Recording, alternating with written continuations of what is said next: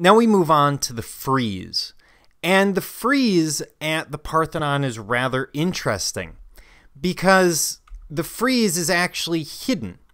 So when you look from the outside, you would see the pediment, you would see the metopes, but you would have to go between the colonnade or inside the colonnade and look up at a very difficult angle to see the frieze, which is one reason it's very unusual. It's also a feature of an Ionic temple, and the Parthenon is more or less a Doric temple. Because of this frieze, it's actually considered a mixed Doric and Ionic temple.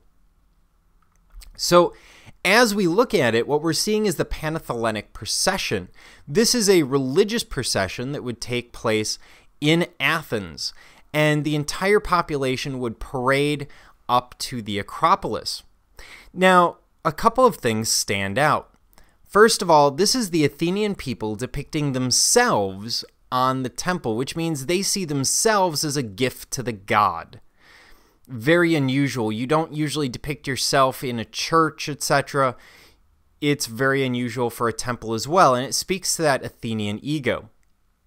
Secondly, it's in that very unusual position where you can't see most of it. And the purpose of this procession was the same as the purpose of religion in the ancient Greek world, which was it has nothing to do with morals and ethics. In fact, the Greeks get their morals and ethics more from philosophy than they do from religion. Instead, the point of religion is community building. It's bringing people together with a common identity or a common purpose. So, a couple of times a year, you would have various religious festivals where you would come together for a common cause, identifying yourself as Athenian. Now, you also see the drill holes here. Those are for bronze fixtures that were added to the piece to add elements of detail.